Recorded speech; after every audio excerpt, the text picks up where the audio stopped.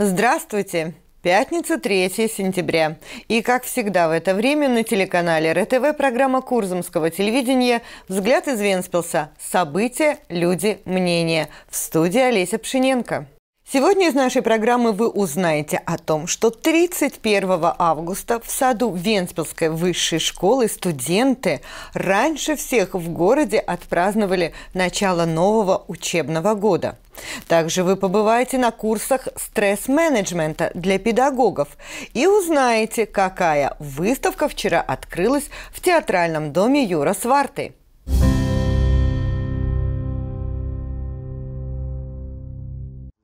Некоторые жители Венспилса получили письма с приглашением связаться с предприятием УДЭКа. На этот раз это связано с тем, что до конца года необходимо выполнить постановление Кабинета министров о регистрации канализационных подключений индивидуальных домов. На данный момент около 200 домов в Венспилсе не зарегистрированы в УДЭКе. Та децентрализованная система, которая построена на дачах или дачных кооперативах, также должна быть зарегистрирована для того, чтобы это соответствовало законодательству. Это касается и коммерческие помещения, сервисы, если у них действует такая система. Мы постарались всеми возможными способами оповестить все адреса, но, возможно, кому-то приглашение не пришло. Поэтому мы приглашаем всех, кто это еще не сделал, прийти и зарегистрироваться. Эти правила Кабинета министров вступили в силу в 2017 году. Более половины частных домов в Венспилсе уже прошли регистрацию. Те же, кто затягивает оформление, могут оказаться в неприятной ситуации, поскольку к ним будут применяться штрафные санкции. Cilvēkam tas šajā brīdī nemaksā pilnīgi neko. Jā. За регистрацию людям не нужно платить, просто нужно позвонить в Удуку. Это бесплатная услуга, но по закону мы должны закончить регистрацию до конца этого года. И если в следующем году люди будут использовать незарегистрированную систему, то это будет квалифицировано как административное нарушение.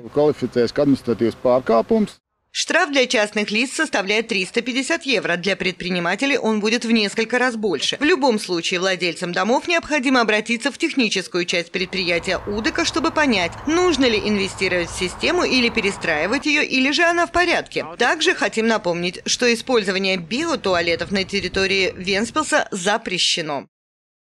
На сайте города есть список предприятий, предлагающих услуги ассенизации, и за эти услуги выписывается чек. Предприятие УДК предупреждает, что следует использовать только официальные услуги, и чек необходимо сохранять. Контроль за сточными водами был организован с целью гарантировать очистку и учет сточных вод. В Вентспилсе очищенные сточные воды попадают в море, и, как отметил Вестерс Оттомерс, они чище, чем того требуют нормативные акты.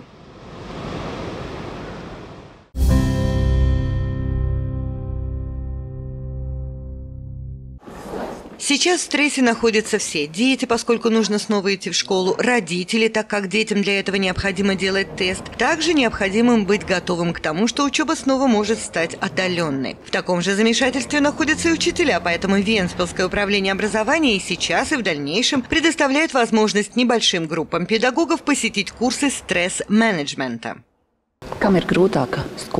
Кому сейчас сложнее, ученикам, их родителям или же учителям?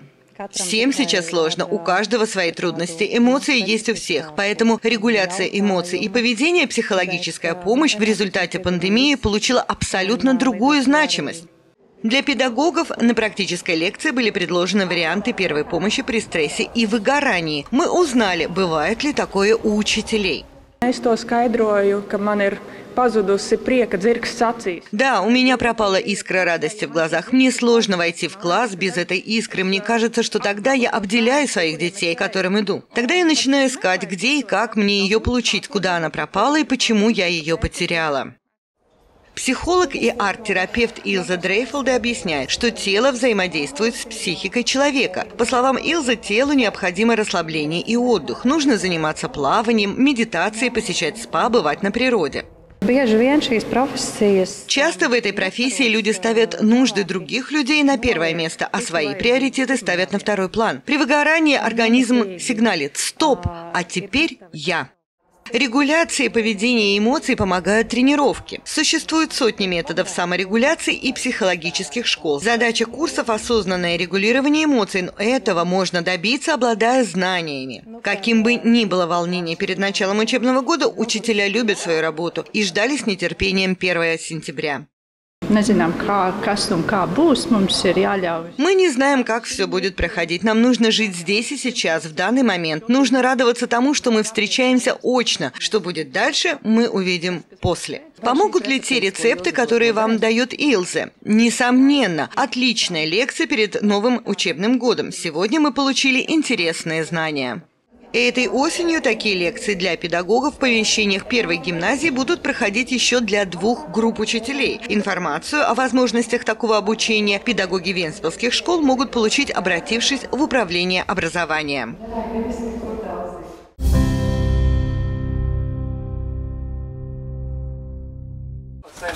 Студенты Венспилской высшей школы первыми в нашем городе начали отмечать День знаний. Произошло это 31 августа. Студенты впервые решили провести мероприятие в саду Венспилской высшей школы, и придуманное ими праздничное мероприятие длилось до двух часов ночи. Молодежь к этому подготовилась серьезно. Vispār kaut kas tāds notiek. Такое впервые происходит в Венспилской высшей школе и, возможно, даже в Латвии, потому что это мероприятие как такого типа фестиваль. И так праздновать 1 сентября это происходит впервые. У студентов высшей школы уже сегодня праздник, а у всех завтра. Сад Венспилской высшей школы был разделен на три зоны. Зона кино. В специальной палатке демонстрировались короткометражные фильмы. На большой сцене выступала Монта Цина и Эмилия Ермола, которая в этом году презентовала свой новый музыкальный альбом. Затем вечер продолжили венспилская группа Винди Темпер и завершение всех ждал особенный диджей-сет. Все это организовали ребята из ассоциации Шмедриба, которые подали эту идею на конкурс проектов Венспилского культурного центра для досуга молодежи и получили финансовую поддержку.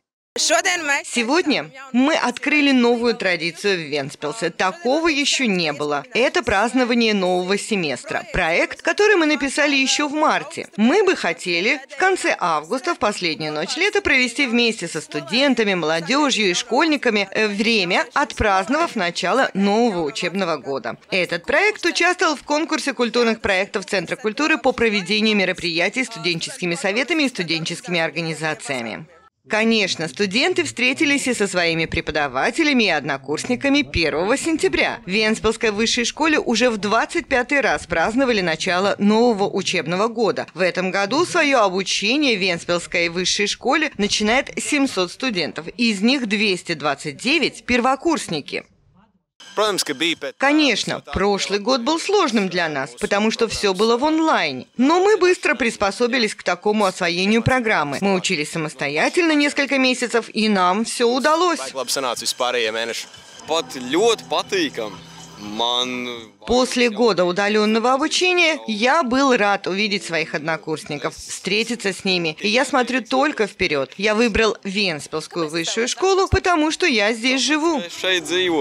Традиционно большинство первокурсников отдали свое предпочтение области информационных технологий. Здесь будут учиться 49 студентов. На втором месте по количеству зачисленных студентов факультет переводоведения. Следует отметить, что эта бакалаврская программа претерпела серьезные изменения и в дальнейшем будет называться технологией языков перевода. И делиться по языковым специализациям она больше не будет. Третья по популярности среди молодежи программа факультета экономики и менеджмента «Управление бизнесом». К обучению здесь приступил 21 студент. Хочется отметить и тот факт, что Венспилская высшая школа – одна из тех, где очное обучение не прекратится с 10 октября для тех, у кого не будет сертификата о вакцинации.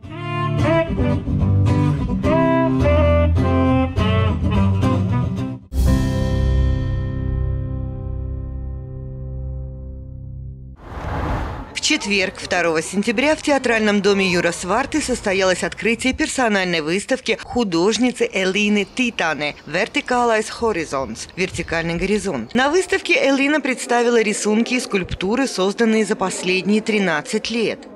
Элина Титаны закончила Латвийскую академию художеств, и ей нравится работать со всеми керамическими материалами. Например, такими как каменная масса, глина, фарфор, создавая как крупноформатные скульптуры, так и миниатюры. Элине нравится, когда выставочное помещение обживают вместе и керамика, и живопись, как они соединяются и дополняют друг друга. Мы решили узнать у Элины, какая идея была заложена в названии выставки «Вертикальный горизонт». Философская мысль всегда заложена в названии, но у этого названия очень широкий спектр. В нем заложены ассоциации с этим местом, с Венспилсом, с морем. И это название объединяет в себе различные группы моих работ, у которых по отдельности были свои названия, но теперь они все на выставке собраны под таким названием. tad vieno, vienotā ekspozīcijā zem šī nosaukuma. За плечами Элины более 20 выставок как в Латвии, так и за рубежом. «Вертикальный горизонт» можно будет посетить в театральном доме Юра Сварты до 3 октября, а затем часть экспонатов отправится в дальнее путешествие. Одна часть работ, которые находятся в выставочном зале, после этого отправится на выставку в Южную Корею, а остальные работы пока вернутся в мою мастерскую. Работы Элины размещены как в малом выставочном зале на первом этаже театрального дома Юра Сварты, так и в фойе на втором этаже. Вход на выставку бесплатный, и не забывайте соблюдать все предписанные меры безопасности. Это были все новости на сегодня. Впереди нас ждут выходные, и вновь мы с вами встретимся в понедельник. До встречи!